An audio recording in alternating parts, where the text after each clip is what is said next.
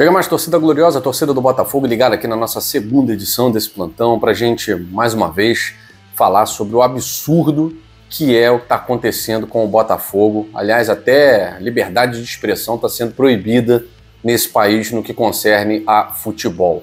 Além de tudo que nós falamos sobre os erros de arbitragem contra o Botafogo e que não vem impedindo o Botafogo, mesmo assim, de angariar pontos, de conquistar vitórias, mas é muito difícil lutar contra o sistema, como disse o Marlon Freitas, contra o adversário, contra o juiz, contra a cabine do VAR.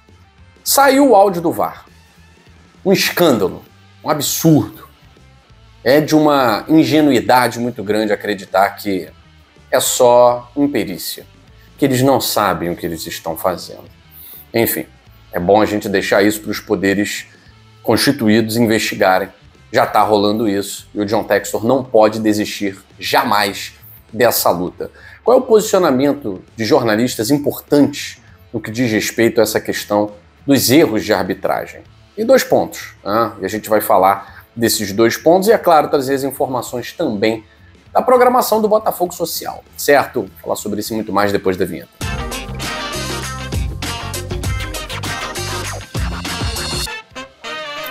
Bom, quero agradecer a cada um de vocês. Somos mais de 106 mil inscritos e não é porque a gente faz qualquer coisa. A gente faz um trabalho com muita qualidade para todos vocês. Torcedor do Botafogo merece um trabalho de qualidade vindo aqui do canal Gigante Glorioso. Eu, Michael Martins, dois jornalistas que trazem um conteúdo alvinegro para você, mas pautado pela verdade, o compromisso com a verdade jornalística, tá certo? Vamos lá, galera. Mais uma vez, tocar nesse ponto do áudio que a CBF liberou da possível expulsão do pênalti, eu acho que é. A gente já falou tudo que tinha que falar, né? Mas da possível expulsão do jogador do Cuiabá na entrada em cima do Gregory. Agora, agora tem a questão do caiu, valorizou, não gritou. Mas além disso, tem a questão de que tipo de trava, qual é o local da trava, se é com trava, se não é, que entra na jogada no pé do jogador adversário, na canela, no tornozelo. Ainda tem essa, ainda tem essa. E essa senhora que estava na cabine do VAR, ela foi capaz de uma atrocidade num jogo entre Remo e. Acho que é Remo e Amazonas, o, produção, depois me, me lembra aí, que eu vou trazer aqui para vocês. Mas vamos ao áudio do VAR. Ó, ele tá com o pé, tá? Ele toca ali, ó, toca por pra cima, tá? Eu preciso ver aqui, tá? ó. Exato, eu preciso ver, ó, a entrada desse jogador amarelo em cima desse possível tornozelo. Perfeito, pode seguir em slow. Slow.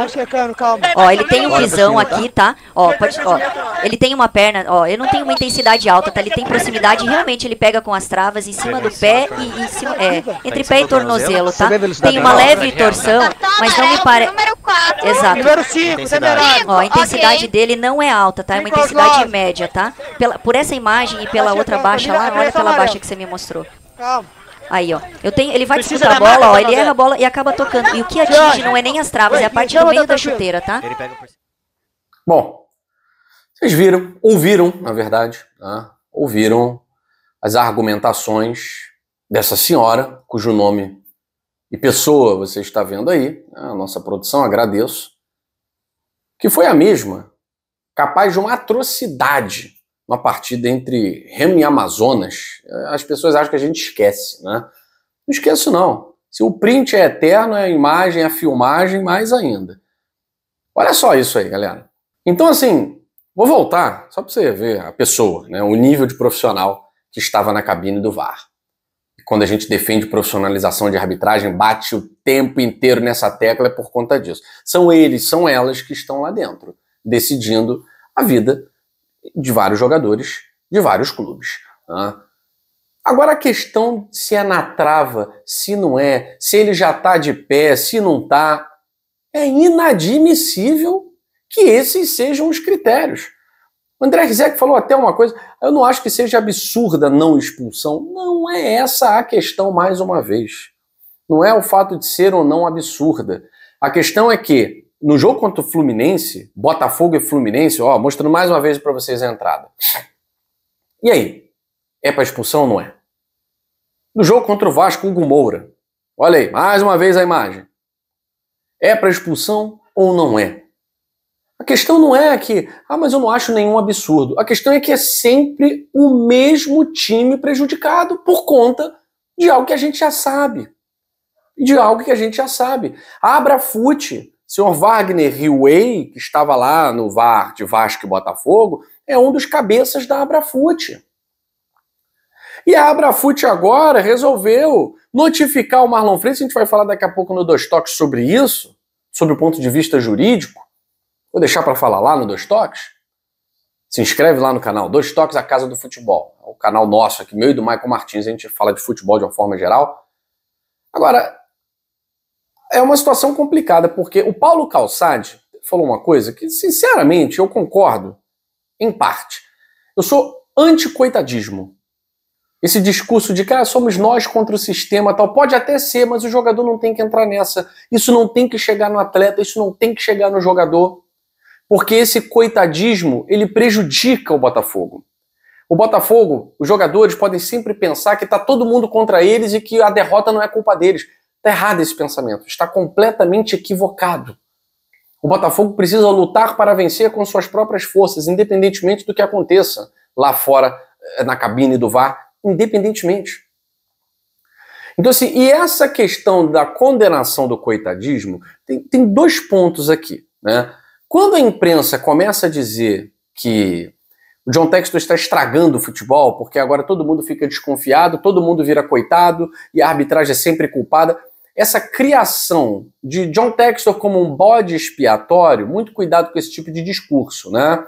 a questão do coitadismo, né? Agora o Botafogo pode se valer sempre, porque se perder, foi roubado. E quando a imprensa usa esse discurso, é uma cortina de fumaça para deixar as coisas como elas estão. Então nós temos esse ponto importante, que quando a imprensa começa a querer minar muito John Texton, muito cuidado.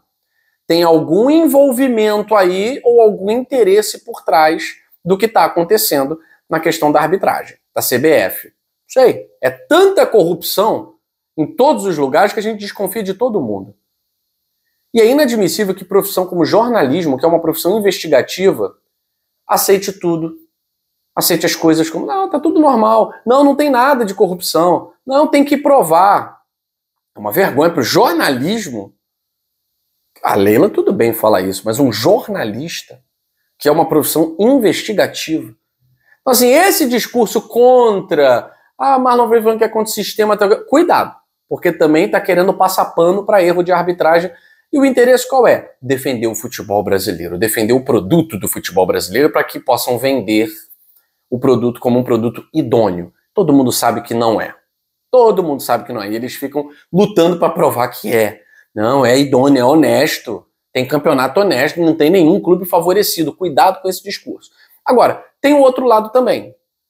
Porque não é todo jogo, não é toda hora que tá todo mundo preocupado em ferrar o Botafogo. Então vamos parar com esse papo também.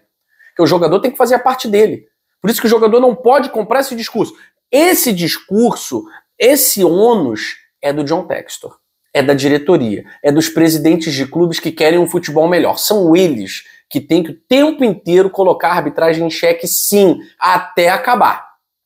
Até eles saírem de cena. Porque só assim nós vamos resolver. Enquanto os clubes não se unirem por árbitros profissionais, profissionais, em vez de esses sapateiros remendões, esses é, é, amadores, incompetentes, não tem futebol. Nosso futebol vai sempre estar prejudicado. Sempre prejudicado. E tem que investigar muito, muito, porque eles são uma máfia. Isso já está provado. Quem tem que provar que não é corrupta é a CBF, porque ela tem vários processos de corrupção durante anos e anos. Quem tem que provar que não é corrupta é a arbitragem. É eles que têm que provar. Pode inverter o ônus da prova aí, porque eles são suspeitos sempre. Ainda mais quando se juntam numa máfia chamada Abrafute. E agora vão levar Marlon Freitas para STJD porque ele disse que vai lutar contra o sistema. Por que, que não levou a Leila, que falou a mesma coisa? Então, assim, peraí é, é denúncia, é notificação para STJD só quando é de um time, quando é de outro não é? Isso aí, meu amigo, isso não é democracia, isso não é constitucional, isso aí é algo discricionário.